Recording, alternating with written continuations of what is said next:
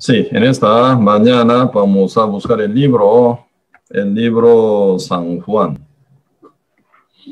El libro San Juan, capítulo 2, vamos a buscar San Juan, capítulo 2. San Juan, capítulo 2, versículo 1. San Juan, capítulo 2, versículo 1, vamos a ver. Sí, yo leo San Juan capítulo 2, verso 1 hasta 11, sería, si yo leo.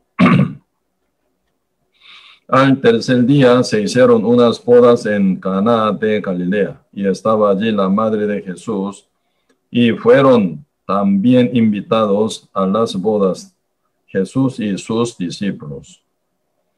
Y faltando el vino, la madre de Jesús le dijo, no tienen vino. Jesús le dijo, ¿qué tienes conmigo, mujer? Aún no ha venido la hora. Su madre dijo a los que servían, haced todo lo que os dijere. Y estaban allí seis tinajas de piedra para agua, conforme al rito de la purificación de los judíos, en cada una de las cuales cabían dos o tres cántaros. Jesús les dijo, llenad estas tinajas de agua, y las llenaron hasta arriba. Entonces les dijo, sacad ahora y llevadlo al maestra sala. Se lo llevaron. Cuando el maestra sala probó, el agua hecho vino sin saber él de dónde era, aunque lo sabían los sirvientes que habían sacado el agua, llamó al esposo y le dijo, todo hombre sirve primero el buen vino y cuando ya han bebido mucho, entonces el inferior, mas tú has reservado el buen vino hasta ahora.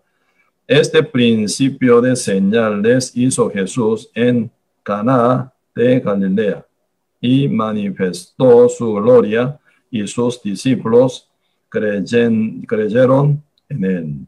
Sí, hasta aquí eh, leímos. Sí, realmente esta palabra donde leímos recientemente, ¿verdad? Y sí tiene gran sentido, ¿verdad? Y hace 12 mil años nuestro Señor Jesucristo vino, nacido, ¿verdad? En el mundo encarnado, aunque él siendo mismo Dios que es creador, ¿verdad? Del universo, pero humildemente se encarnó para cumplir su misión que es salvar al mundo entero, ¿verdad? Porque el Espíritu de Dios nunca puede morir, pero Cristo vino a morir, ocupa un cuerpo para que muera eh, derramando la sangre, ¿verdad? Porque el Padre Dios ya prometió desde Adán, ¿verdad? Que había caído en pecado como primer hombre y a todos seres humanos, ¿verdad? Por la palabra de Dios prometió de que iba a salvar al mundo entero. Entonces el Padre Dios, ¿verdad? En forma del Hijo final también nacido en el mundo encarnado, humildemente, ¿verdad? Nacido en el pesebre estable en Belén, según una promesa, tal como está escrito en Miquea, ¿verdad? En Belén, en pueblo natal de David, Cristo nace y fue criado en Nazaret humildemente, ¿verdad? Como un lugar tan chiquito y pequeño y humilde y no tiene nada reconocimiento ni fama para nada, eh, ¿verdad? Donde Cristo vivía, Nazaret, un tamaño, ¿verdad? El tamaño de esa aldea donde Cristo fue criado por 30 años, apenas doble tamaño de cancha de fútbol, tan chiquito, ¿verdad? Hoy en día los arqueólogos y científicos lo descubren. Así Cristo fue, ¿verdad? Y ya nacido y creado humildemente teniendo 30 años, ya bautizado, ya Cristo marcha como Cordero de Dios hacia Matadero, hacia Monte Calvario para ofrecer su vida. La muerte de Cristo era, verdad, peor muerte que pueda haber en historia humana. Cristo murió crucificado. Desde cuando ya sentencia pena de muerte, ya, verdad, cualquier reo sentenciado pena de muerte se lleva, en verdad, gran azotazo y también gran, ¿verdad? Maltrato y también, ¿verdad? Y golpe y golpe y golpe ¿eh? para sacar sangre del cuerpo. Final, colgando en la cruz, clavando manos y pie y, ¿verdad? Y mata a uno, ¿verdad? Por eso, final, eh, perdiendo la sangre paso a paso, poco a poco, bañado en su sangre, muere en la cruz.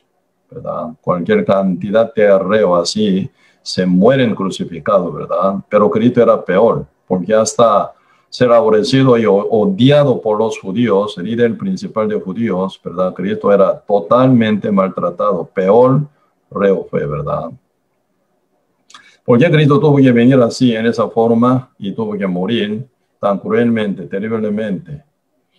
Esto era por la promesa del Padre Dios. Dios nos promete. Entonces, sí o sí, Él cumple a su debido tiempo, ¿verdad? Una forma absoluta, una forma perfecta, una forma completa, ¿verdad? Dios nunca eh, come del, eh, la palabra jamás, ¿verdad? Una otra forma siempre cumple su palabra a su debido tiempo. Sí, debe haber hecho nuestro Señor Jesucristo como el verbo, el creador del universo, el quedó reposado por, ¿verdad? Debe haber hecho el universo por seis días, ¿verdad? En el séptimo día fue santificado y ya Dios reposó. Reposó, ¿qué significa? Ya no trabajó más, ¿verdad? En el reposo de nuestro Dios fue quebrantado por la desobediencia de Adán. Si Adán no hubiera pecado, en el reposo de Dios no hubiera sido quebrantado. ¿verdad? Porque Dios está ya en el séptimo día, ya eternamente reposado. ¿Sí? Adán, ¿verdad? Con su obediencia, con su libre albedrío, si camina bien humildemente, siguiendo la voz y la palabra de Dios, realmente el, el reposo de Dios nunca se quebraría, ¿verdad? Pero se quebró porque Adán ya cayó en la desobediencia por la cual ya se mueve Dios según su, ya plan B sería, ¿verdad? Plan B, como que ya según libre del albedrío, Adán cayó en pecado, ya Dios tiene que ya trabajar para recuperar a Adán y todo el mundo que nace después de Adán, porque todo nace debajo de dominio de Satanás, todo el mundo nace, ¿verdad? Entonces se forma guerra primero contra el diablo para rescatar alma constantemente, ¿verdad? Por eso esa guerra, ¿verdad? Guerra entre Dios y el diablo va, ¿verdad? También poniendo ser humano en el medio. Dios, como que ama tanto al mundo, quiere salvar al mundo, pero realmente ser humano también debe responder bien, según la palabra de Dios, con su fe y obediencia final, ¿verdad? Pero el diablo entonces estorba ese punto.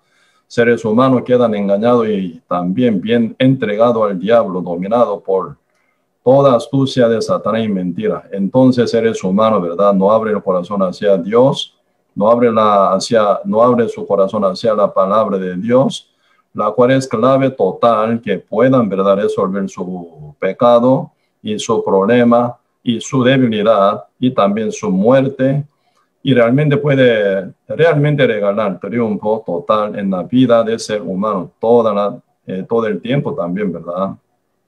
Por eso el clave de triunfo está en la voz de Dios, en la palabra de Dios, ¿verdad? Entonces, Satanás, ¿cómo trabajaría para cerrar el corazón de uno? Para arrastrar el corazón de uno para que no se pegue con la palabra de Dios, no se sujeta a Dios ni a la palabra del Señor. Siempre el diablo está produciendo constantemente la desobediencia en la vida y en el corazón y en la mente del ser humano. Y rebelde también. Rebeldía también pone constantemente el diablo para que uno al final, ¿verdad? Sea totalmente entregado, ¿verdad? En la mano de Satanás, que sea manipulado total. ¿Verdad? Por eso ahí se forma que era complicada. Si Dios ve directo al diablo, ¿verdad? Vencer y vencer y vencer, eso ya, y un asunto ¿verdad? Muy fácil. La luz nunca se pierde ante tiniebla, ¿verdad? La luz prevalece contra la tiniebla 100% y vence 100%. Como Cristo, ¿verdad? Venció 100%, aún estaba en el cuerpo, venció al diablo 100%. También con toda obediencia perfecta, cumpliendo toda la palabra que son la ley y los profetas, ¿verdad? Las profecías, ¿verdad? Según toda la voluntad divina del Padre. Cristo, ¿verdad? al pie de letra, cumplió totalmente toda la palabra tal como está escrito en el Antiguo Testamento, que dicen con respecto a Cristo, 100%. Por eso Cristo triunfó total contra el diablo, ¿verdad? Él venció total. Pero aunque ese triunfo, aunque ese, esa victoria, ¿verdad? para uno aún no aplica, no se aplica totalmente todavía. ¿Por qué? Uno no recibe, no acepta todavía esa palabra tal como se revela. Por fe debe responder ante la palabra de Dios. Pero por ser engañado pone alguna otra cosa, idea y pensamiento diferente que, eh, de, que de Dios, ¿verdad? Entonces, y final, uno se engaña por el diablo, están todavía dominados bajo dominio de Satanás todavía. ¿Verdad? Aunque viendo con su ojo, aunque oyendo con su oído a Cristo directamente, aunque palpando con su mano el verbo encarnado llamado Jesucristo, pero aún ellos estaban entregados en la mano de Satanás todavía, ¿verdad? Viendo Judas Iscariote estaba pegado con Cristo a la pan, pero nunca recibió la palabra, así que nunca fue renacido, nunca fue salvo y nunca fue transformado, ¿verdad? Según la voluntad del Señor y nunca pudo ser librado de la esclavitud que el diablo llevaba sobre él, sobre Judas Iscariote. Hoy en día mucha, pero mucha gente está muy parecido a Judas Iscariote también, ¿verdad? Y así que, ¿verdad? Y realmente hasta quebrarse el reposo de Dios, ¿verdad? Planeando ya según su palabra, enviando a su Hijo Jesús y cumple la salvación al mundo entero. ¿verdad? Pero el mundo aún no responde muy bien. Alguno que sí responde con corazón quebrantado, humillado y arrepentido total, ya recibe la palabra tal, Señor, ya revela en la palabra del Señor con respecto a la salvación, uno ya la tiene, ¿verdad? Por eso ya uno vive un método diferente y su destino diferente y el propósito diferente y valor diferente vive como nueva criatura en Cristo. Uno ya no vive para sí, sino para Cristo. Aún siendo, ¿verdad? Justo, renacido también por una otra forma, ¿verdad? Y si pueden caerse en cualquier trampa de diablo, cualquier engaño y mentira de Satanás. Por eso tenemos que cuidar muy bien con respecto a la palabra del Señor, ¿verdad? Para que uno no esté descuidando a la voz, a la palabra del Señor, para que uno pueda estar, ¿verdad? Bien preparado para llevar guerra contra Satanás nuestra vida actual, ¿verdad? Que llevamos, ese no es para tiempo para reposar o gozarnos, ¿verdad? O divertir todavía, ¿verdad? Sí, podemos hacer cuando uno está bien cansado, ocupa, ¿verdad? Un descanso, un reposo, sí. Cuando uno, ¿verdad? Está tan estresado también pueden, ¿verdad? Y realmente despejarse, ¿verdad? Y recibiendo algún aire más puro, ¿verdad? Buscando alguna naturaleza y todo, ¿verdad? Sí se puede. Pero nunca podemos olvidar de que estamos en campo de batalla, estamos en época de guerra espiritual, que es más seria, ¿verdad? Porque dependiendo de esta guerra que llevamos, se determina, ¿verdad?, nuestra vida eterna. Y también, ¿verdad?, para muchas almas que están alrededor de nosotros, ellos dependen de nosotros. Obteniendo la vida eterna o perdiéndola, uno fallece. ¿verdad? Se presenta ante Dios. Ahora actual, ese tiempo actual se determinaría todo, ¿verdad? Por eso realmente cuidar muy bien este punto, este enfoque, ¿verdad? Y aquí San Juan capítulo 2, verso 1 hasta 11, ah, están hablando sobre, ¿verdad? El principio, el principio de señal que Cristo hizo. Principio, ¿cómo suena? El principio. Entonces, por ser, ¿verdad? ya primer, ¿verdad? Señal que Cristo hizo con su poder y autoridad. Mientras que Cristo eh, se criaba, ¿verdad? Por 30 años en Nazaret, ¿verdad? Como hijo de carpintero José. Cristo no hacía, ¿verdad? Milagro. Como hombre común y corriente, como ustedes, como yo, él vivía, ¿verdad? Sirviendo a sus padres, José y María aparentemente, ¿verdad? Aunque no era biológicamente hijo de José Cristo jamás, ¿verdad? Pero, ¿verdad? Él servía a José y a María, porque así se ven ante todos seres humanos, Cristo es, ¿verdad? Hijo de José y María, hijo de carpintero. Por eso Cristo llevaba siempre una vida también obediente a los padres, sirviendo a sus padres, siguiendo a sus padres. Cuando trabaja José, Cristo a la par de José también ayudaba, apoyaba también, ¿verdad? Como buen hijo, hijo obediente, hijo, ¿verdad? Y realmente humilde también ante sus padres, ¿verdad? Cuando ya tenía 30 años, ya bautizado por Juan Bautista, ya otra cosa. Ahí se viene ya nueva etapa de vida de Cristo, ya vida, ya ministrando por tres años y medio, ¿verdad? Desde el bautismo hasta la muerte. Segundo bautismo en su sangre, ¿verdad? Primer bautismo fue en, su, en el agua, en el río Jordán, por medio de Juan Bautista, ¿verdad? Pero segundo bautismo que Cristo lleva en su propia sangre, colgado en la cruz, por tres años y medio, ¿verdad? Después del bautismo y antes de ser bautizado en sangre en la cruz, Cristo lleva una vida ya como hijo de Dios, ¿verdad? También siervo de Dios, como hombre perfecto y también, y como rey también, ¿verdad? Pero primer venida de Cristo sí está más enfocado como siervo, ¿verdad? En el cuerpo humilde.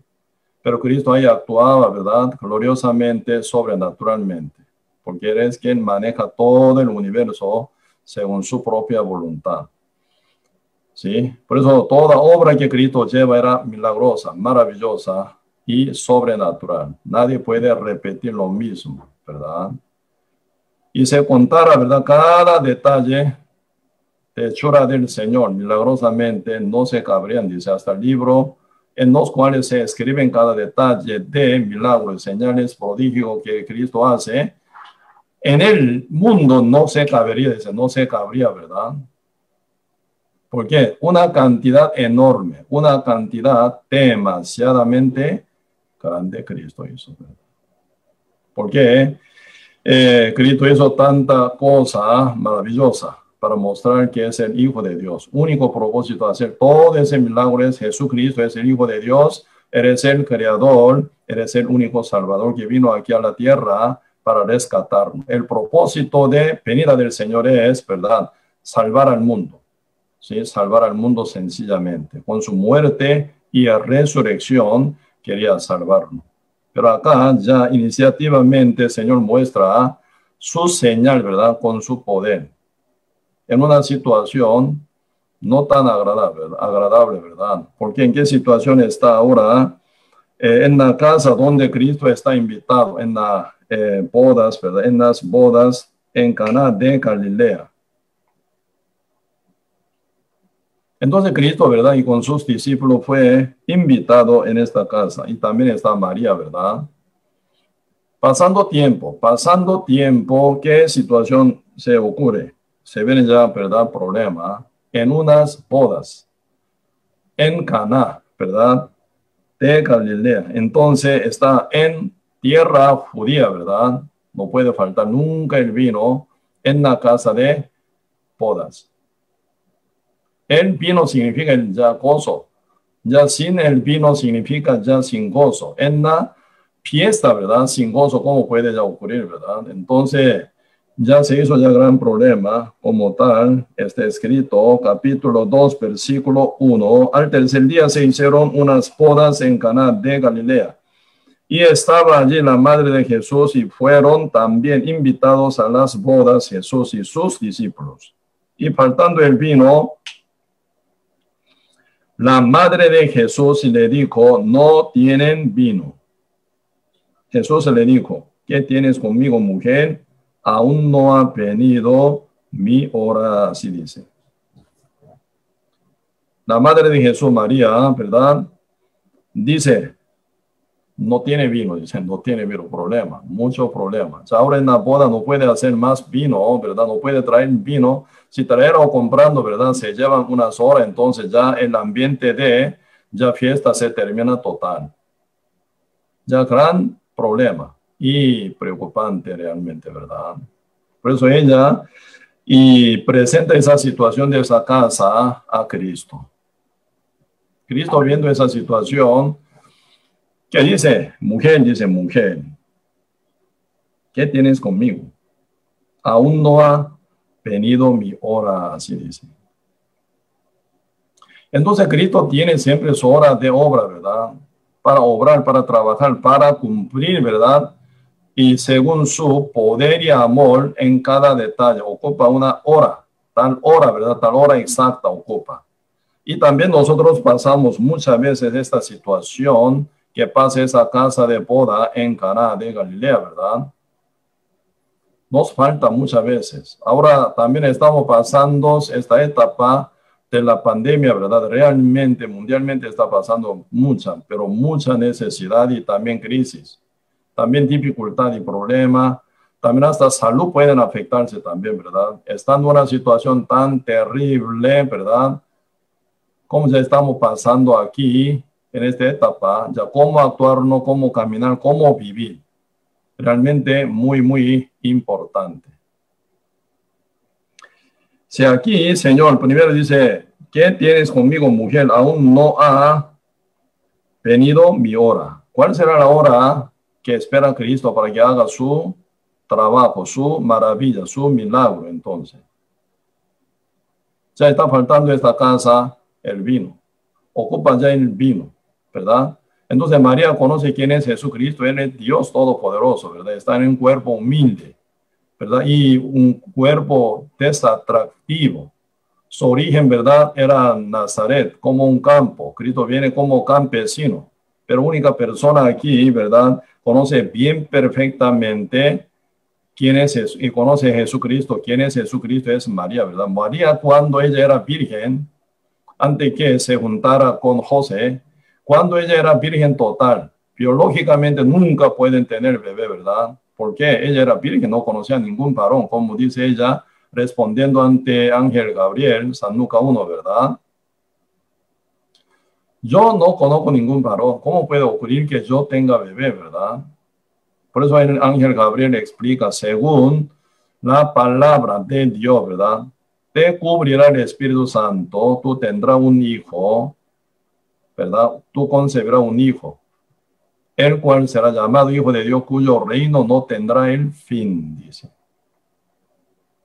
Entonces se choca, ¿verdad? Se choca entre dos pensamientos. Pensamiento de María y el pensamiento de Dios que viene por ángel Gabriel. Se chocan, diferente totalmente, ¿verdad? Se pegan, se chocan y se quedan incómodos y conflictivos. Entonces, ¿cómo puede ocurrir que yo tenga una virgen, ¿verdad? Tener un bebé. Pero el Señor dice, te cubrirá el Espíritu Santo, tú tendrás, tú concebirás un hijo el cual será llamado Hijo de Altísimo, cuyo reino nunca tendrá el fin. Entonces, Cristo, ¿verdad? Ya nace, se viene por María, ¿verdad? Ahora, por medio del Espíritu Santo, que es causante de la concepción en ella, y se viene un hijo según plan, según poder de Dios. ¿Por qué Cristo ocupa un cuerpo para salvar al mundo? Espíritu, el espíritu mismo nunca puede morir, ¿verdad? Nunca puede derramar la sangre. Sin derramamiento de la sangre no hay redención, dice en el Antiguo Testamento. Y en el Nuevo Testamento la paga del pecado es la muerte. Entonces, sin morir, ¿verdad? El Mesías llamado Jesucristo nunca ocurriría ninguna salvación en el mundo, ¿verdad? Entonces Cristo sí o sí tiene que venir, pero por medio de que María, Virgen María, favorecida. Pero hay verdad y mientras está pasando ese conflicto por la diferencia del pensamiento de ella y el de Dios, ahí se viene, ¿verdad? Ya el corazón total arrepentido, negado total. Entonces ella al final que dice, según mi punto de vista, imposible que yo tenga bebé, ¿verdad? Concebir un bebé. Pero tu palabra me dice esto, entonces si sea cumplida tu voluntad, dice. Heme aquí tu sierva. ¿En qué posición queda ella? He aquí tu sierva. Entonces María eh, responde ante la palabra del Señor y reconoce como sierva. Heme aquí tu sierva. Hágase tu voluntad, dice. ¿Quién soy yo? Yo soy tu sierva. Tú me manda, tú me creaste, entonces tú me manda. Según tu palabra, se haga, dice, ¿verdad? Toda la cosa. Entonces ella se humilló, ¿verdad? Poniéndose en su posición como una sierva. ¿Sierva qué es? La función de sierva qué es? Oír al mandatario, ¿sí o no? Entonces Dios es mi mandatario, Dios es mi Señor, Dios es mi creador, Dios es el que tiene el propósito, ¿verdad? Sobre mí. Entonces tú me manda.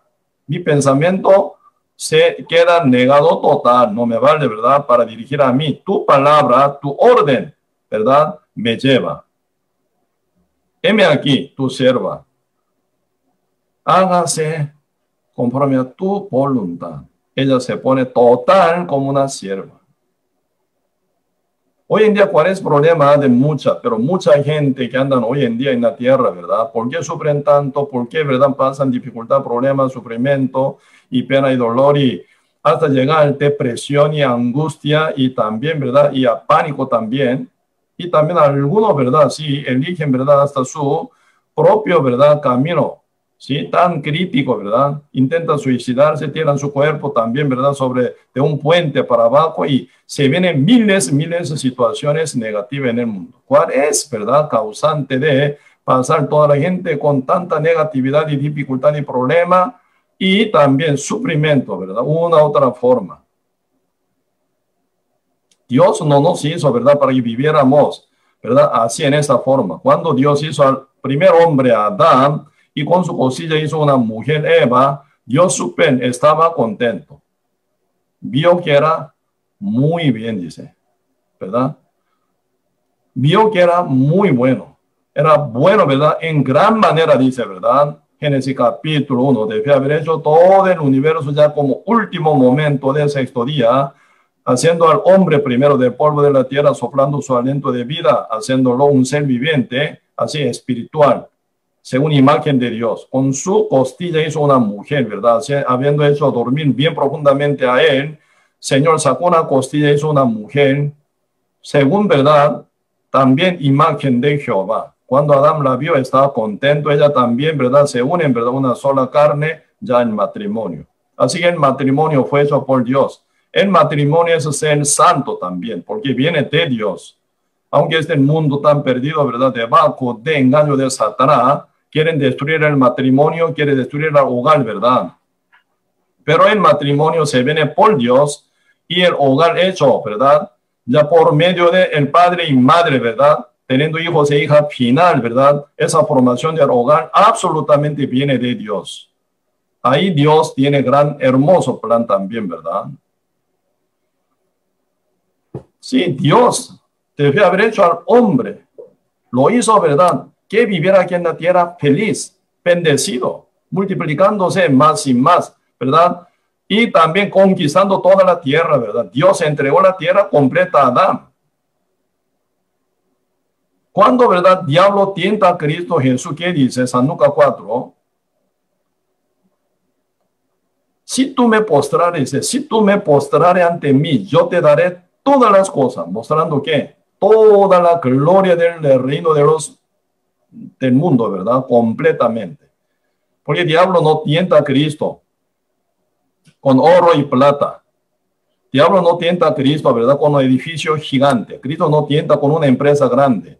Diablo no tienta con un terrenito grande, una casa bien grande y una mansión. Siendo humano, ¿verdad? Común y corriente pueden caer en la mano de diablo tentado por esa cosa mínima pero diablo sabe que quién es Cristo, entonces no puede tentar con esa cosa. Diablo muestra toda la gloria de los reinos del mundo entero. Si tú postrares ante mí, yo te daré todas estas cosas, porque uno me ha entregado, dice. Ahora, ahora, a uno que me cae bien, yo se lo entrego también, dice, ¿verdad? ¿Quién es el que entregó al diablo toda esta cosa que hay en la tierra? primer hombre llamado Adán por su desobediencia. Adán es el que tenía autoridad sobre el mundo entero. Adán es el que, ¿verdad?, gobernaba sobre el mundo entero. Adán es, ¿verdad?, el que, ¿verdad?, está como doñado total, endueñado, ¿verdad?, total en el mundo completo. Por eso Adán es el que nombraba cada animal con su inteligencia, ¿verdad? Viendo cualquier cantidad de animales, Adán es el que puso nombre de cada animal. Tú eres león, tú eres jirafa, tú eres hipopótamo, tú eres cocodrilo, tú eres conejo, tú eres perro, tú eres águila, tú eres tigre, tú eres verdad. ¿Eh? Y también como y caballo, cualquier nombre de animales que existen hasta hoy por Adán fue hecho. Nombrar como suena nombrar, esa es autoridad. ¿Verdad? Autoridad. Hasta todas las plantaciones cuyos nombres fueron hechos, ¿verdad? Por Adán que había sido por Dios, ¿verdad? Había sido por Dios todas las plantaciones, pero Adán es el que, ¿verdad? Nombra cada plantaciones. Él tiene inteligencia total. Debe haber dicho, ¿verdad? Un nombramiento terriblemente cantidad, ¿verdad? Millones de nombres, pero nunca se confunde el día siguiente, nunca se olvida también. Tiene inteligencia, super inteligencia él tenía. Para que él pudiera gobernar el mundo entero. Hoy en día nosotros medio estamos atontados, ¿verdad? Ni podemos memorizar el número telefónico de su esposa alguna vez, su marido tampoco. Muchas veces, ¿verdad? Si no se acuerda el número telefónico de sus hijos también. Si quiere llamar, tiene que buscar en su celular, ¿verdad? En su contacto. Porque ni se memoriza. Adán era diferente, ¿eh? Adán era diferente, totalmente diferente. Inteligencia total. Una memoria, ¿verdad? Como sin borrarse. Súper, pero súper, ¿verdad? inteligente fue Adán. Y autoridad tiene él sobre el mundo entero. Pregunto. ¿A quién se lo entregó todo? Al diablo, el diablo. Ahora el diablo usa toda esa autoridad que tiene él, ¿verdad? En su mano, utiliza esa autoridad y poder y gloria para tentar a Cristo. ¿Cómo cayó Adán en la mano del diablo? Por sencilla desobediencia. ¿Cómo diablo puede amar a Cristo con, verdad, y convencer a Cristo que desobedezca una sola vez suficiente? ¿Verdad? Pero Cristo nunca fue caído en la mano de Satanás, jamás. Adán fue hecho según imagen de Dios para que viva con gran autoridad y victoria y poder y que viva feliz. Por eso cuando Dios, ¿verdad? ¿Con qué fin hizo una mujer Eva, ¿verdad? Para Adán. Jehová vio, ¿verdad? No es bueno, se vio que no era bueno estar hombre solo. Por eso Dios, para que esté Adán no sola, solo, ¿verdad? Sino que esté feliz. Por eso Dios hizo una mujer Eva para que vivan juntos, ¿verdad? Felices. Así que Dios quiere que estemos bien, felices. ¿Por qué entonces el mundo entero está viviendo, verdad, bajo una tragedia eh, en diferente modo, verdad, sufriendo por mucha otra cosa, verdad? Mientras que Cristo estaba aquí en la tierra, en un cuerpo humilde como usted, como yo, ¿verdad? Como todo el mundo, pero Cristo nunca se perdió. Sino pense y vence y vence contra Satanás. Sí, físicamente era humilde, físicamente desatractivo, físicamente, ¿verdad? Era menospreciado ante uno, ¿verdad? Pero internamente Cristo llevaba una abundancia de vida, ¿verdad? Suficiente poder tenía para gobernar la, carne. No importa la carne en qué condición, en qué situación pasa, pero su espíritu, su poder ya tenía, ¿verdad? Para dominarla. Con bien, con mal, en todo toda la situación que pasa el cuerpo, Cristo estaba con autoridad sobre el cuerpo también, ¿verdad? Pues nunca Cristo se torcía en caminar conforme a la voluntad divina del Señor. Cristo no se cayó en la tentación del diablo, ¿verdad? Aunque el diablo presenta tres tentaciones tan atractivas ante Cristo cuando Cristo pasa gran dificultad, pasando 40 días y noche de hambre en el desierto. Si Cristo tiene suficiente poder para hacer todo, de nada todo, piedra en pan, sí puede. O pueden tomar la gloria del mundo también. Cristo sí, también, ¿verdad? Pueden tirar del eh, eh, pináculo del templo. Los ángeles están dispuestos para proteger al Señor. Pero Cristo nunca hace caso de lo que diablo manda. Porque Cristo sabe quién es Él. Pero nunca hace caso de lo que manda diablo. Mínima cosa Cristo ¿verdad? Hace. Nunca se retrocede ante la tentación y mentira o engaño de Satanás. Jamás. Por eso la vida completa Cristo lleva con una obediencia perfecta final. Pues ahí está un, un código universal, ¿verdad? Un código universal. Aparentemente la Biblia desde Génesis hasta Apocalipsis, ¿verdad? Está limitado página. ¿Sí? apenas como hasta Apocalipsis, ¿verdad? Sí, que hasta que, que, página viene. Entonces, y sí, el Apocalipsis capítulo 22, según mi Biblia, ¿verdad? Tiene página 1441. Así letra, cantidad de letras está limitada. Palabra de Dios, así está, ¿verdad? Limitada también. Pero esta palabra total, tal como está escrita en la Biblia, es como código universal, código triunfante, código poderoso, código, ¿verdad? De solución sobre toda, toda, todas las cosas también. ¿Sí? Por ejemplo, un, eh, uno cuando nace en el mundo, ¿verdad? En células se encuentra ADN, dentro de ADN se encuentra eh, cromosomo, ¿verdad? Según humano, creo que 46 eh, tiene. Entonces, según ese cromosomo, ¿verdad? Está toda información completa de nuestro cuerpo. Totalmente. ¿Sí? Ahí está toda, pero toda información. Cuando se larga, ¿verdad? Cuando se conecta, eh, así está roscado, ¿verdad? Y cromosomos, entonces así extendiendo. Cada cromosomo que se encuentra dentro de ADN y en célula, que cada persona tiene como cuánto mil billones, conectando cada, ¿verdad? Y información que lleva en cromosoma en ADN, ¿verdad? ¿Sabe? ¿Cuánta eh, distancia pueden tener? Pueden dar del Sol hasta la Tierra siete veces y da vuelta y media. Terrible. En este cuerpo tan limitado, chiquitito, ¿verdad? Está una información increíblemente, ¿verdad? Detallada. Así la Biblia es, así la palabra de Dios es, ¿verdad? En esta palabra está, ¿verdad? Total código espiritual, código universal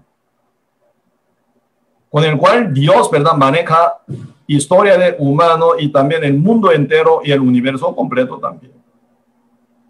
Y mundo carnal y también mundo espiritual, sin fin, por toda la eternidad. En este libro, ¿verdad? Sencillamente tal está escrito según la revelación de Dios está toda información completa que Dios quiere dar a nosotros. Sencillamente Dios dijo a Adán, ¿verdad? No comerá del árbol de la ciencia del bien y del mal. El día que comieres de él, ciertamente tú morirás. En este código tan corto, chiquito, está toda autoridad y poder que pueda manejar Adán. Con tal que no comience ese fruto del árbol de la ciencia, bien y del mal, Adán sí puede, en verdad, conquistar la tierra, reinar sobre la tierra total. Sencillamente con toda felicidad y autoridad y gozo. Uno no estarían viviendo sudando, ¿verdad?, para comer al día. No estarían sufriendo mujer, ¿verdad?, por eh, parto tampoco, ¿verdad? No estarían, ¿verdad?, trabajando en el mundo, ¿verdad?, sufriendo tanto, jamás. Sencillamente Adán estaría encima de la serpiente, encima del diablo también, dominándolo.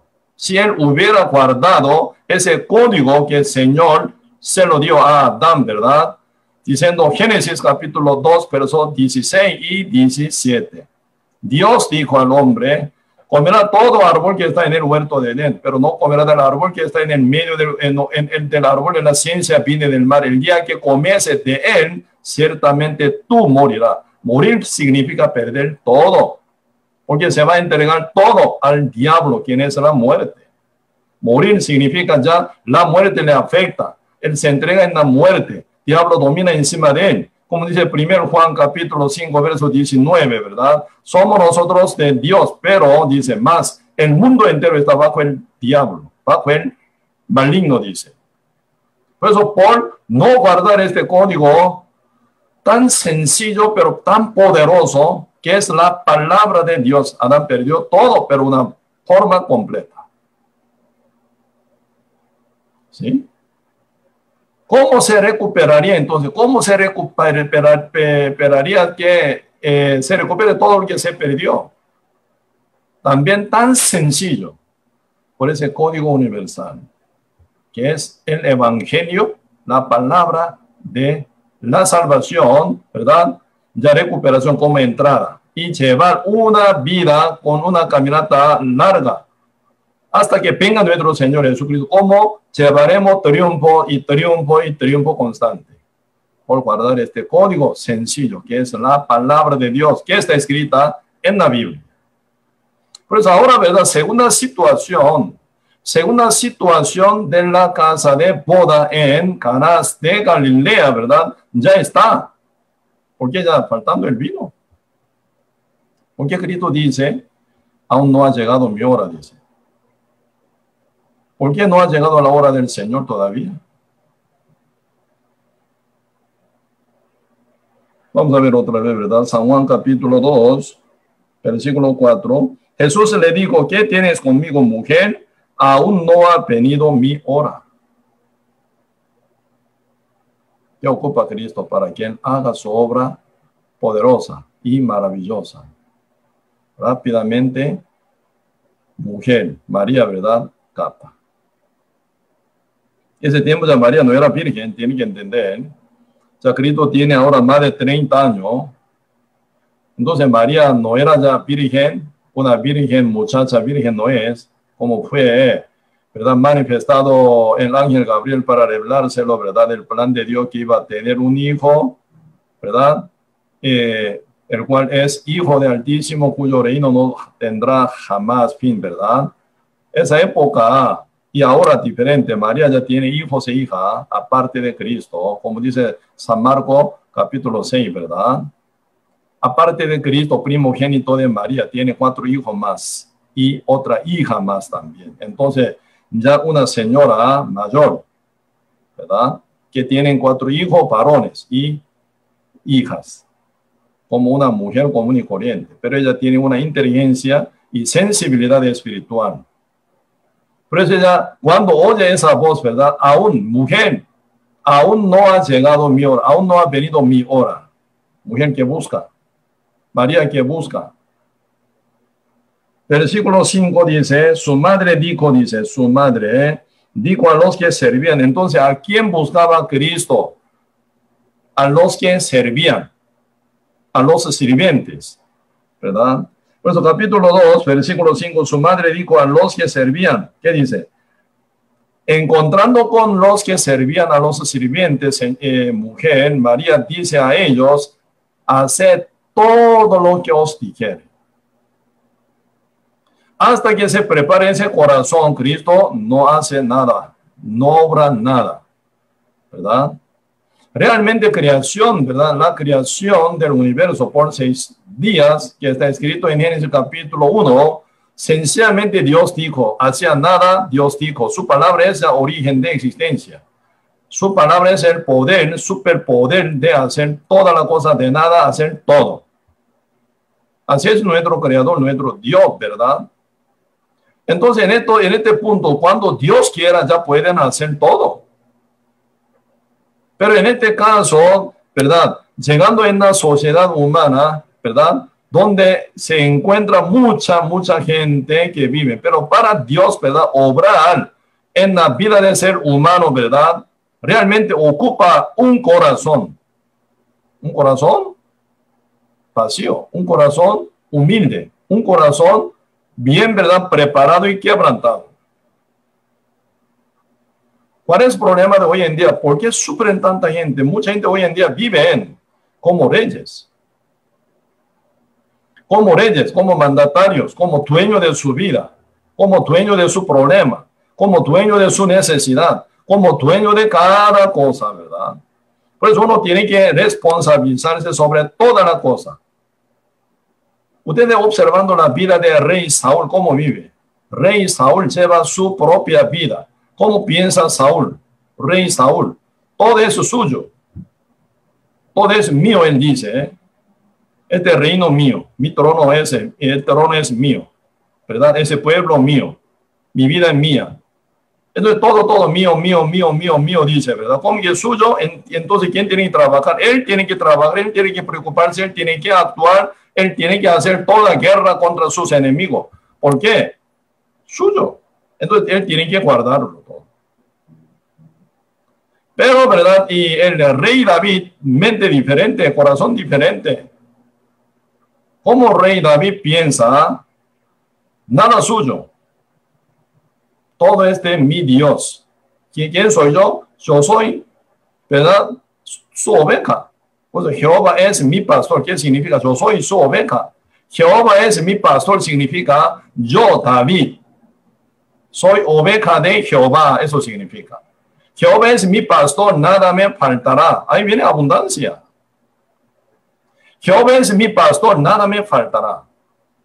Oveja, ¿cómo suena? Oveja, la que pertenece al pastor. Entonces el pastor lleva a la vida de oveja, rebaño de oveja, según su parecer, según su justo, según su voluntad. Así que el pastor tiene autoridad sobre el rebaño de las ovejas, ¿sí o no? Así que el pastor tiene autoridad sobre su oveja, sobre su cordero. Cuando quería sacrificar a Jehová, el pastor nunca pregunta a esa oveja, ovejita, yo te quiero sacrificar ante mi Dios. ¿Tú me permites? Así no pregunta. El pastor elige entre toda oveja la mejor, ¿verdad? Oveja, tomándola, llevando el matadero, de Goya. Cuando se crece, ¿verdad? Su el pelo también, ¿verdad? Esquilan, ¿verdad? Esquilan pastores. Los pastores esquilan todas las ovejas y carnero y cordero. Si no, ellos no pueden caminar por peso de su pelo. Ellos no consultan a las ovejas, ¿verdad? Yo quiero hacer esto, tal y otro. ¿Me permite? No. Entonces ellos ya están entregados en la mano del pastor. Entonces, entonces hacen, ¿verdad? Esquilándolas.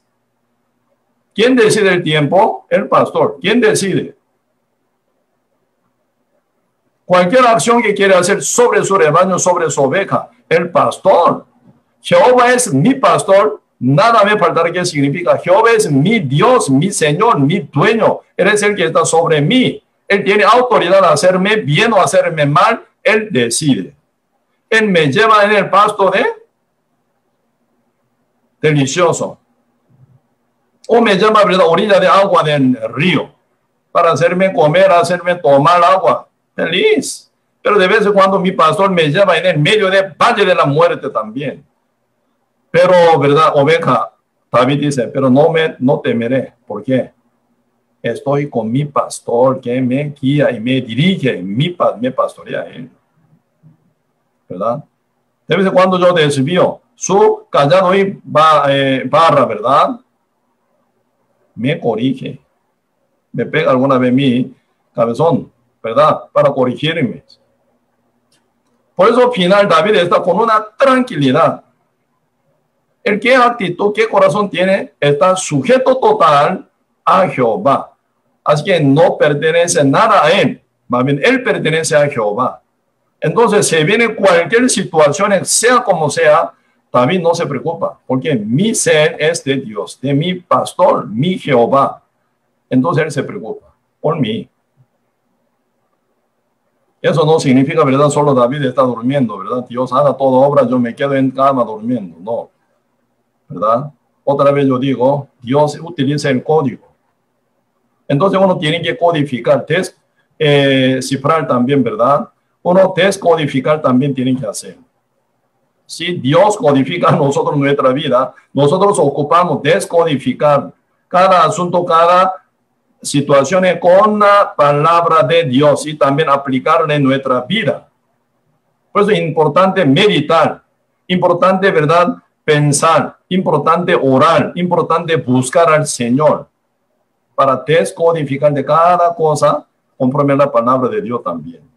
Por eso nosotros ocupamos inteligencia también, no para, ¿verdad?, vivir según nuestro justo parecer, sino para someternos más a Jehová ocupamos nuestra inteligencia y meditación y profundidad de nuestro corazón también. ¿Para que Estemos bien unificados con Dios, ¿verdad? Final. Por eso David, ¿verdad? Oraba, pero una forma total. ¿Sí? Por su eh, enemigo, por su y realmente, ¿verdad? Invasores también. David oraba y oraba y oraba y oraba. Hasta que se moja su almohada. Llorando también, ¿verdad? Por eso con todo corazón buscaba a Dios para conectarse con la voluntad de Dios, para que no se desvíe, buscando al Señor. Cuando nuestro Señor Jesucristo oraba en el monte de Semaní, ¿cómo oraba? Hasta que cayera, ¿verdad? Su, ¿verdad? Sudor, como si fuera sangre, dice, ¿verdad? Entonces, bien concentrado al Padre buscaba con todo corazón. Ahí se ve ya descodificación. Debe haber orado tres veces, él dice a sus discípulos que están súper dormidos, ¿verdad? Por estar tan cansado. Entonces ahora descanse, dice. Ya llegó la hora, dice. porque viene ahora a Judas Iscariote, ¿sí o no? Buen instrumento para cumplir la voluntad de Dios, aunque el diablo lo utiliza máximo, ¿verdad? Torciéndolo, pero Cristo lo utiliza final también esa situación máxima para cumplir la voluntad de Dios. Por Judas Iscariote se entrega a Cristo, quedan sentenciados en pena de muerte injustamente. Esa injusticia de ser humano también final, ¿verdad? No impide la voluntad de Dios que se cumpla. Cristo final murió en la cruz. Él pudo decir, diciendo, ¿verdad? Consumado es. Así es, nuestro Dios, nuestro Señor.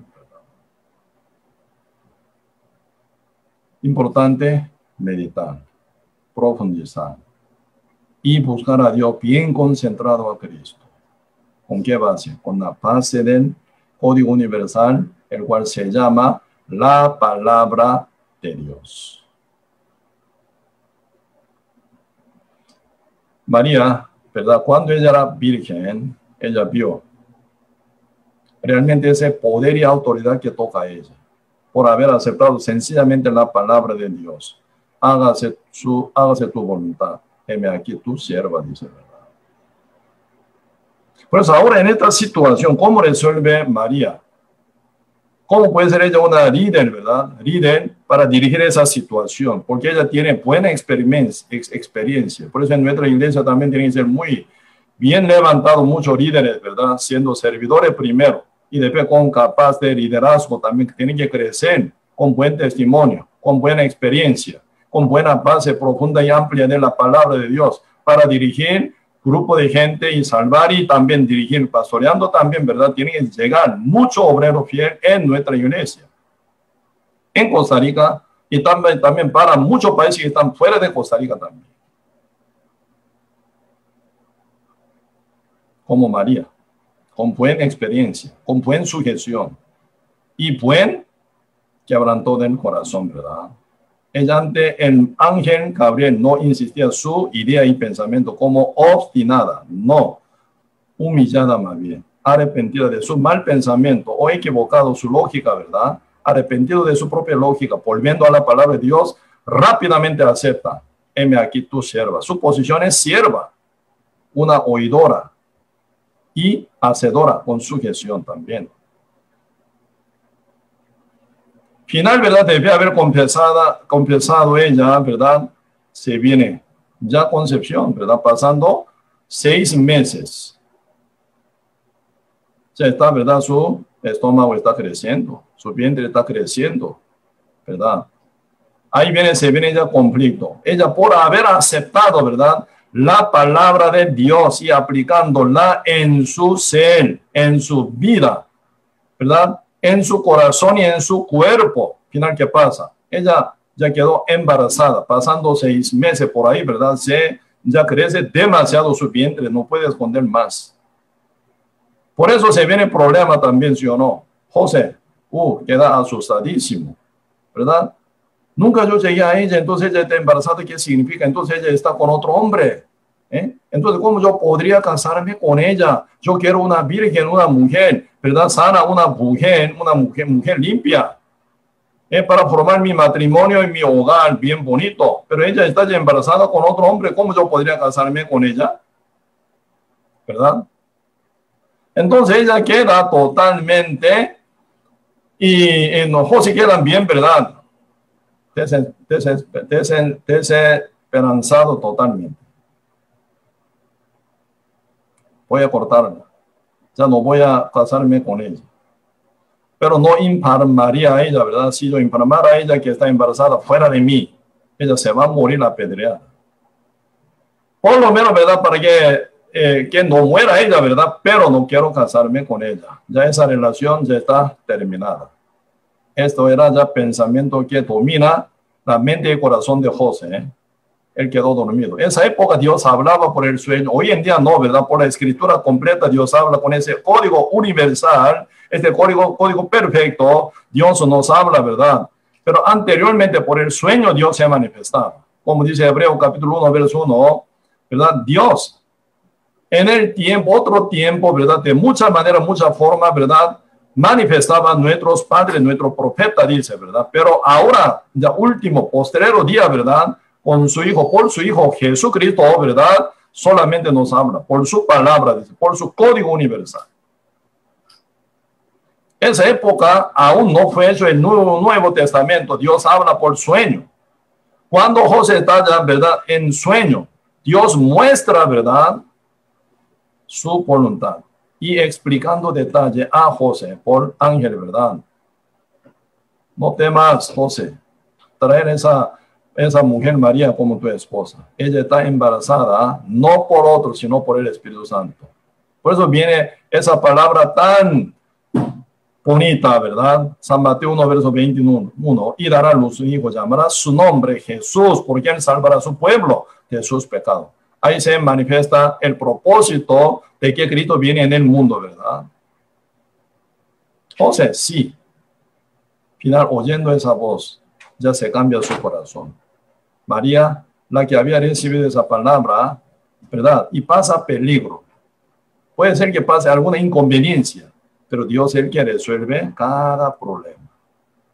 José Final fue convencido total por esa revelación de ángel, ¿verdad? Enviado de Dios. Entonces él acepta a María como su mujer.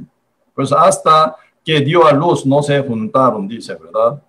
Debe haber tenido el primogénito llamado Jesucristo, ellos se juntaron como matrimonio común y corriente. ¿eh? Por eso tiene cuatro hijos, ¿verdad? Donde se menciona San Marco capítulo 6, cuatro hijos aparte de Jesús y hijas más también. Así que, ¿verdad? Y María, pasando todo ese panorama, está bien guardada esa experiencia. ¿Me explico? Ya aplica esa situación con mucha necesidad. Faltó el vino. Ya está a punto de fracasarse esa fiesta de la boda en Caná, de Galilea. María, ¿quién busca? Cuando Cristo dijo, mujer, no ha venido mi hora. Pero ¿a qué busca María? Para que venga esa hora en obra maravillosa del Señor, busca a los sirvientes, a la gente preparada, para que Cristo haga su obra por tal persona, ¿verdad? Pues ahora dice versículo 5, su madre dijo a los que servían, haced todo lo que os dijere. Verso 6, y estaba allí seis tinajas de piedra para agua, conforme al rito de la purificación de los judíos, en cada una de las cuales cabían dos o tres cántaros.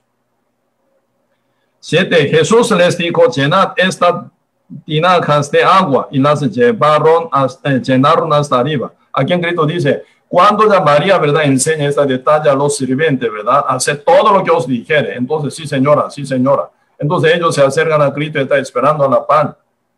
Cuando Jehová, ¿verdad? Llama a Abraham, Abraham, Abraham, ¿qué dice? Abraham está ya eh, ocupado en otra cosa. No, señor, espérenme un poco, yo voy a ir pronto. Así no dijo. Abraham era, ¿verdad? Si pastor de ganado, entonces debería estar muy ocupado. Él llevaba, ¿verdad? Como más de 318 criadas, entonces mucho de su negocio, pero demasiado ocupado. ¿Sí o no? Él llevaba 318 criados, criado, para llevar guerra contra eh, Abel, no era, ¿cómo se llama? Abel, se me olvidó el nombre de ley, ¿verdad? Y San eh, Génesis capítulo 14, para no inventar, no voy a leer exacto nombre. ¿eh?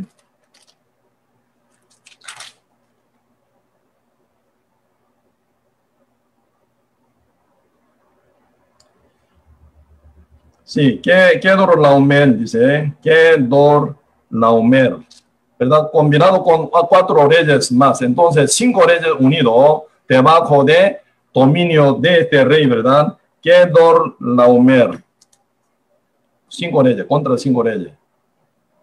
Abraham, ¿cómo puede vencer, verdad? Pero él lleva 318 criados. Entonces él lleva guerra contra él. Así yo valiente, ¿verdad? Entonces Abraham ya tiene un negocio gigante. ¿Por qué se separaron entre Abraham y Lot? Por su negocio. ¿Verdad? Por eso ¿verdad? Y para tener más, ¿verdad? Pasto y más, ¿verdad? Agua. Por eso elige, ¿verdad? Al final, el campo de Río Jordán, llanura a la par de ciudad Sodoma y Gomorra.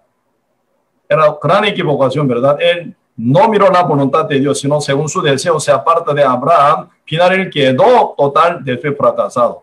Quemada ciudad Sodoma y Gomorra, ¿verdad?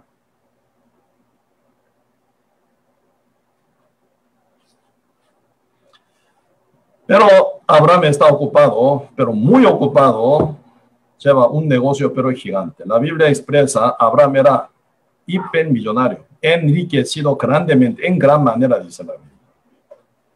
Entonces él lleva mucha riqueza, una gran riqueza. Aunque toda esa riqueza era secundaria, ¿verdad? Pero Dios no, ¿verdad? Faltó de bendecir con sus materiales también. Lleva una empresa grande con 318 empleados, llevando, ¿verdad? Cantidad de, ¿verdad? Ganados. Tiene que pensar mucho, tiene que trabajar mucho, tiene que amadurarse mucho, mucho también, ¿verdad? Pero nunca descuida una cosa. Él ante la presencia de, de Dios vive. Abraham, heme aquí. Jehová no llama dos veces a Abraham. Usted lea, ¿verdad? Génesis capítulo 22. Jehová Dios llamó a Abraham, dice. Abraham, heme aquí. Como si estuviera la pan. Como si estuviera, ¿verdad? Esperando su orden. Como un siervo. ¿Verdad? Pro frente de la puerta. ¿Verdad? Puerta abierta. Como un sirviente, ¿verdad? Está esperando, ¿verdad? esperando la orden de su patrón, orden de su rey. Así está actitud de Abraham. Abraham, sí señor, heme aquí, estoy aquí. Debe Jehová manda algo tan difícil, ¿sí o no? Ofrécemelo tu hijo a quien tú ama. En holocausto, en el monte de Moría, ¿verdad? En tres condiciones. Tu hijo, ¿verdad? Tu hijo a quien ama. Dios sabe muy bien que Abraham ama a su hijo, Isaac. Cuando él tenía 100 años tuvo ese bebé. Cuán amoroso, cuán verdad y cariñoso sería, ¿verdad? Entonces, y quedó así, tan amando tanto a su hijo, Dios manda que ofrécelo en holocausto. Holocausto es matar, pero cortando la cabeza, cortando cuatro patas, entonces dos brazos y cuatro piernas. Y después abriendo vientre, sacando entraña, ¿verdad? Hay que lavar y quemar todo sobre altar. Eso es holocausto. ¿En dónde? No a la par de tu tienda. ¿Dónde está tu mujer? Tu mujer sí o sí te va a interrumpir. Entonces, mejor tú vaya tres días de caminar en el monte Moría. Usted lea en ese capítulo 22. Abraham silenciosamente, no haciendo nada al broto ni avisando a su mujer. Se levanta bien temprano, despertando a su hijo Isaac, lleva, ¿verdad? Un siervo y ahí ya eh, enalbardando, ¿verdad? Un asno montando su hijo y lleva con leña ya preparada, ¿verdad? Y llegando al tercer día, pasando tres días, llegando, ¿verdad? Y ya cerca del monte Moría, deja su siervo, usted quede acá, con mi asno queda, no se sigue a mí, queda aquí. Yo voy a subir y adorar al Señor, yo vengo. Entonces llevando leña, poniendo, montándola a su hijo, ¿verdad? Y llevando fuego y cuchillo. Así sube junto al monte Moria. Final llegando ahí, ¿verdad? Levantando altar, poniendo leña que ya llevó, ¿verdad? Isaac, poniendo Isaac gastándolo. Isaac ni habla nada. ¿Por qué papi eso hace? Habían entendido Isaac, ¿verdad? Hoy en día es el día de mi luto, ¿verdad? El día de mi luto. Mi papá ahora ya quiere matar. Hoy, hoy, día, hoy, hoy, hoy en día nunca yo vi ningún cordero que él lleva. Entonces hoy Cordero es, soy yo. Se nota, ¿verdad? Una sujeción, obediencia. Quizás también copia la vida de Adán, Abraham también, ¿verdad? No sé por qué mi papá me hace eso, pero él hará todo según la voluntad de Dios. Entonces, atado, puesto sobre leña. Su padre, ¿qué hace? Saca espada. Espada no, cuchillo, ¿verdad? Está a punto de degollarlo. Ese tiempo dice la Biblia, el ángel de Jehová dice, el ángel de Jehová lo llamó Abraham, Abraham, dos veces. Dios está bien apresurado para que no se caiga ese cuchillo al cuello de Isaac para degollarlo, ¿verdad? Ese tiempo Jehová vio fondo de corazón de Abraham. Ahora ya sé que tú me temes, dice. ¿Qué actitud tiene Abraham? Actitud de siervo. ¿Qué actitud tiene el rey David? Actitud de siervo. ¿Cómo lo va a vencer el mundo entonces? Nada pertenece a mí. Yo pertenezco a Jehová. Jehová es el que me manda. Jehová es el que me da la orden que tenga que hacer yo. Entonces Dios es el mi dueño, mi Señor. Entonces uno descansa total, haciendo todo oficio, labor y trabajo, todo hace, pero nunca pone ninguna cosa en primer lugar. Solo mi Dios está en primer lugar. Como dice San Mateo en capítulo 6, verso 33, ¿verdad? Buscad primeramente el reino de Dios y su justicia. Entonces todas estas cosas os serán añadidas. Buscad primeramente el reino de Dios y su justicia, no mi justicia, la justicia de Dios, la cual se manifiesta en el Evangelio de Cristo. ¿Verdad? ¿Qué es su reino? Que venga tu reino. En la oración Padre nuestro dice, ¿verdad? Santificado tu nombre. Que venga tu reino, dice, ¿sí o no? ¿Qué reino va a venir? Como la voluntad tuya fue cumplida en el cielo, ¿verdad? Y en la tierra también. Y que venga tu reino, el reino venidero, ¿qué es? La iglesia de Cristo es el reino venidero aquí. Después de haber muerto Cristo con su sangre lavado, mucha gente sellado del Espíritu Santo en el día 20 Pentecostés, empezando, ¿verdad? Ya sellamiento del Espíritu Santo y después se forma iglesia como cuerpo de Cristo. Es, ¿Qué es el reino de Dios? Eso es. Por eso eh, Pablo toda la vida, ¿verdad? Para la iglesia de Cristo dice, ¿eh? yo pongo aflicciones en mi cuerpo, dice.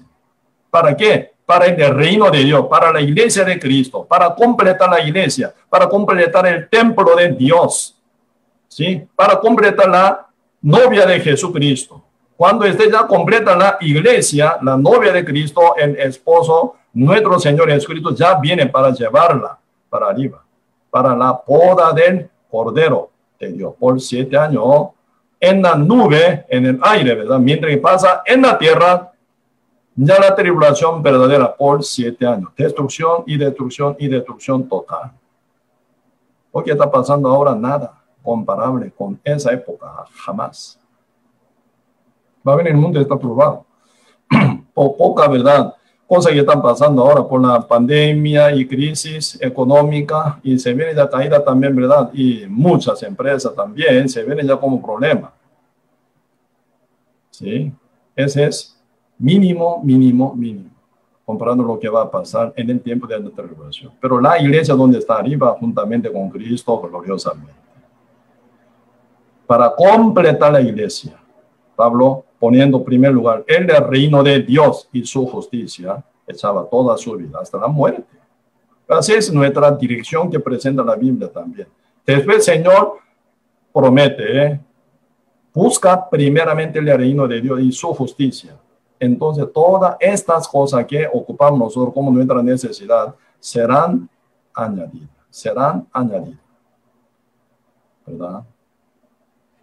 Importante, no ser dueño de nosotros mismos. Así no, no lo son. Cristo es el que nos compró con su sangre. Cristo es ya nuestro pastor. Cristo es nuestro mandatario. Cristo es nuestro rey y señor de todos nosotros. Cuando Cristo ya toma su hora, captando muy bien María, ¿verdad? Se, ya presenta a los sirvientes. Entonces ellos quedan callados hasta que Cristo diga, ¿verdad? A la par, como Abraham, M aquí dijo a la par de Jehová, ¿verdad? Ellos están a la par de Cristo.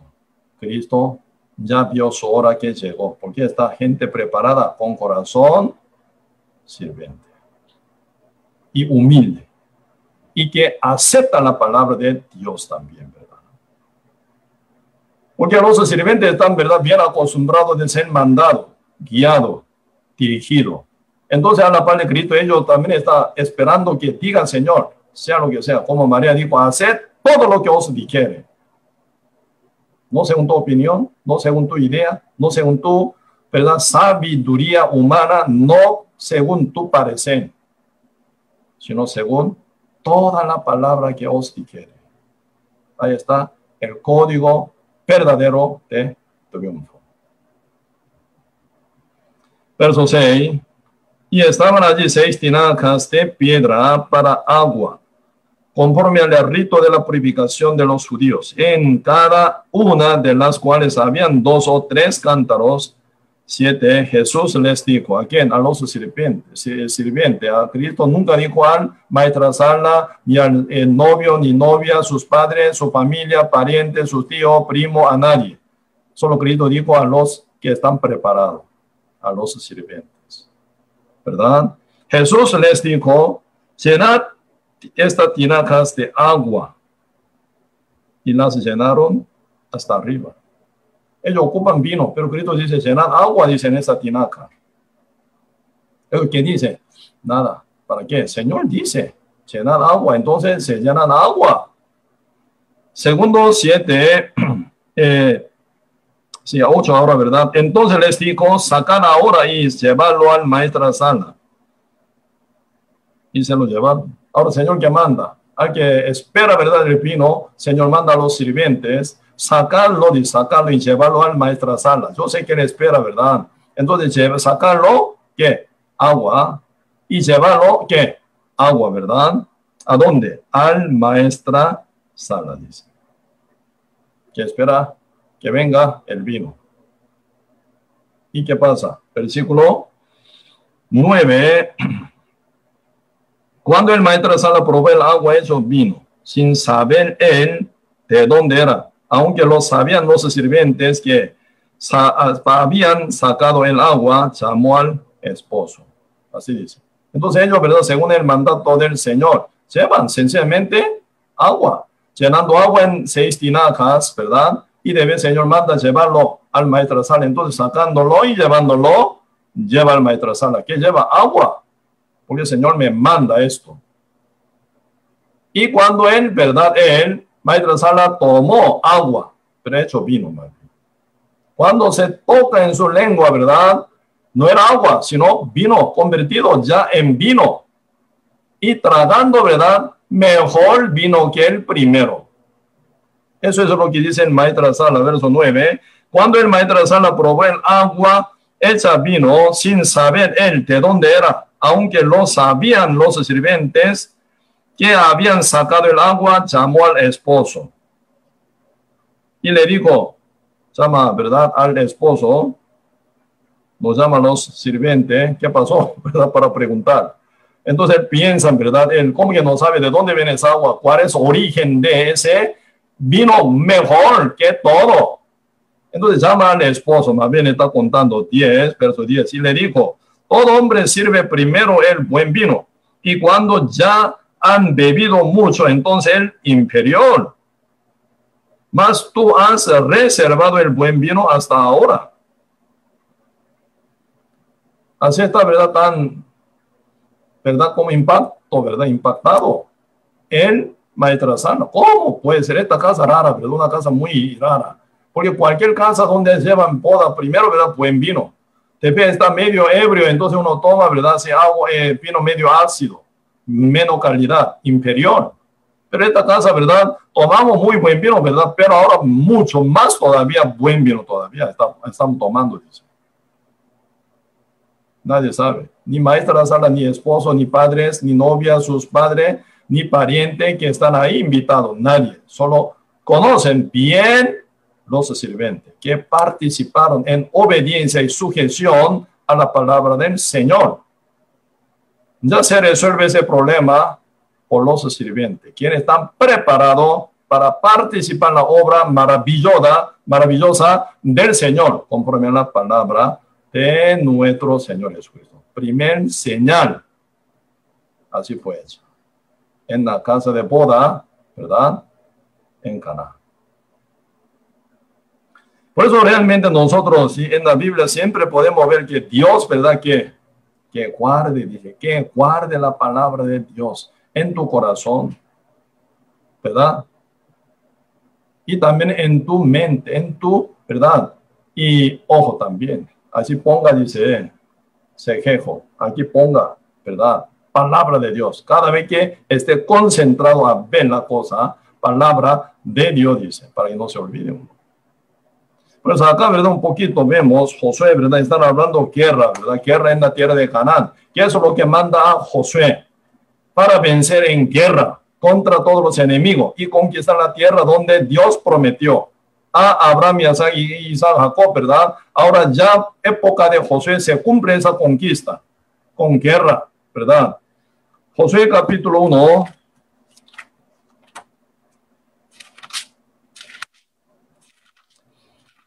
Josué capítulo 1,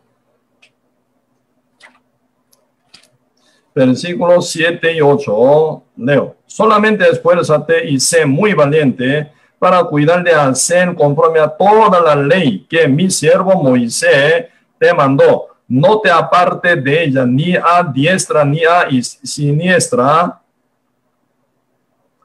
para que seas prosperado en todas las cosas que emprendas. Nunca se apartará de tu boca este libro de la ley, sino que de día y de noche meditarás en él, para que guardes y hagas conforme a todo lo que en él está escrito, porque entonces harás prosperar tu camino y todo te saldrá bien. ¿Dónde está el secreto? De prosperidad, de victoria. ¿Dónde está? El poder. Ahí está, ¿verdad? Nunca se apartará de tu boca este libro de la ley, sino que de día y de noche meditarás en él. Profundizar. Primero leer, memorizar, guardar, y hablar, ¿verdad? Predicar, expresar, testificar. Como, ¿verdad? Lago Galilea. Lago Galileo, ¿verdad? Galilea, ¿verdad? Galilea. Agua recibe que viene de Hermón. Se llena agua, siempre manda por otro lado, ¿verdad? Entonces, dentro del lago Galilea siempre se encuentra cantidad de peces vive y también, ¿verdad? Planta acuaria también. Se vive este lago Galilea. Porque recibe y manda, y recibe y manda. Constantemente está, ¿verdad? Circulando, ¿verdad? Agua en el lago Galilea, ¿verdad? Siendo cristiano, tiene que recibir lo que viene de alto de Dios y guardar y enviar por eso acá están hablando no solo leer y memorizar y meditar, sino guardar en boca. Boca, ¿qué significa? Hablar, expresar y predicar y, ¿verdad? Compartir esa bendición con otros los demás. Entonces el corazón seguirá con vida. Como el mal muerto, recibe y recibe y recibe. Nunca suelta para, para que vaya afuera. Queda muerto. No hay nada vida dentro de mal muerto en Israel, ¿verdad? Así que nuestro corazón debe ser como el lago Galilea, no como mal muerto.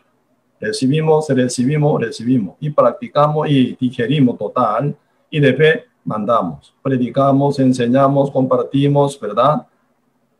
Así se circula la vida en nuestra, nuestro espíritu y llevamos una vida contenta.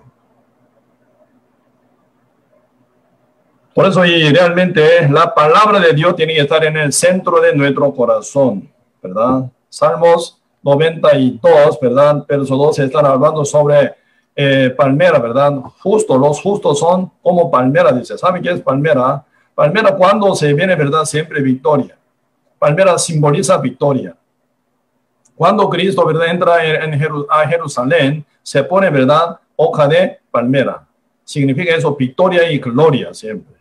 En Roma también cuando emperador o cualquier general triunfoso vuelven de campo de batalla, siempre, ¿verdad? Toda la gente, ¿verdad? Tomando hoja de palmera, así, ¿verdad? Y da bienvenidos. Palmera significa victoria y gloria. ¿Cómo se viene, verdad, esa gloria en el, en, en el árbol de palmera? Palmera tiene raíz bien profunda. ¿Para qué sirve la raíz? Para absorber agua. Por eso nuestro corazón tiene que estar bien profundo para absorber y conectar con agua. Agua viva, palabra de Dios. Nunca tiene que perder contacto con la palabra de Dios. Ahí se emana vida totalmente, ¿verdad? Nuestro corazón con profundidad echa la raíz sobre la palabra. Entonces, esa palabra que se absorbe por larga, ¿verdad? Palmera, raíz de palmera, ¿verdad? Hace vivir.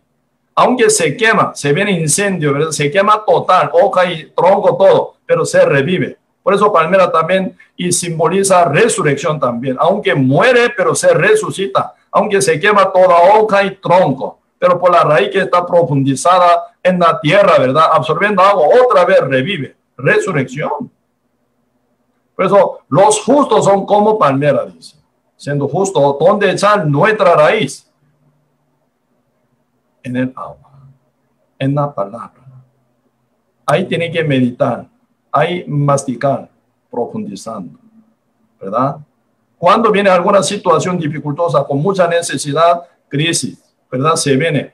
Uno que teme al Señor se enfoca en la palabra. Señor, ¿qué dice en esta situación? Y mueve según la palabra del Señor, con obediencia. Si llegó en la casa de Poda, en Caná, ¿verdad? Llegó un crisis tan ¿verdad? Dificultoso. ¿Cómo resolver esto? Pero Cristo está ahí. Pero Cristo actúa viéndolo sirviente, con corazón preparado. Nuestro Dios, ¿verdad? Conoce quién es el que confía, ¿verdad? En mí y otro no. Nuestro Dios conoce muy bien nuestro fondo de corazón. ¿A quién Dios da misericordia? ¿A quién, ¿A quién da, verdad, Dios, verdad? Y mirada y cuida y salva y bendice final. Isaías capítulo 66 dice una palabra así, ¿verdad? Isaías capítulo 66. Aquí nuestro Dios se rescata.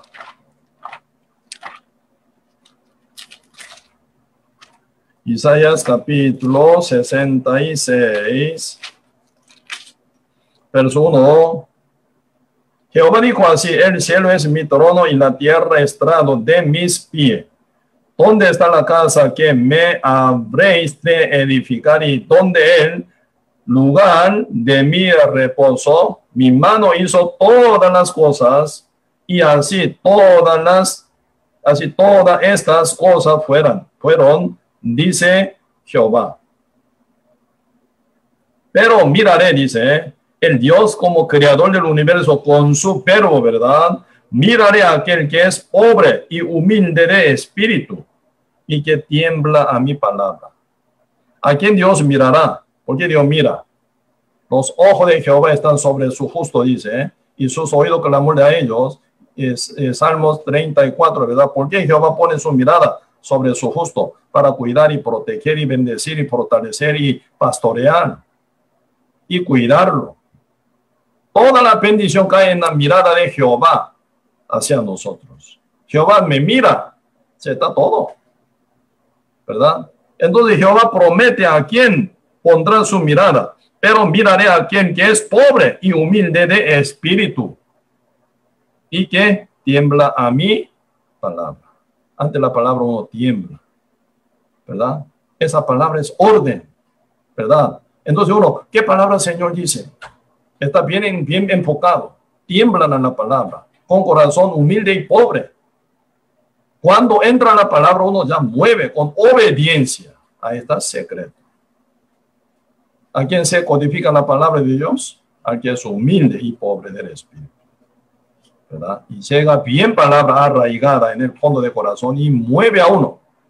Ahí llega todo poder de Dios.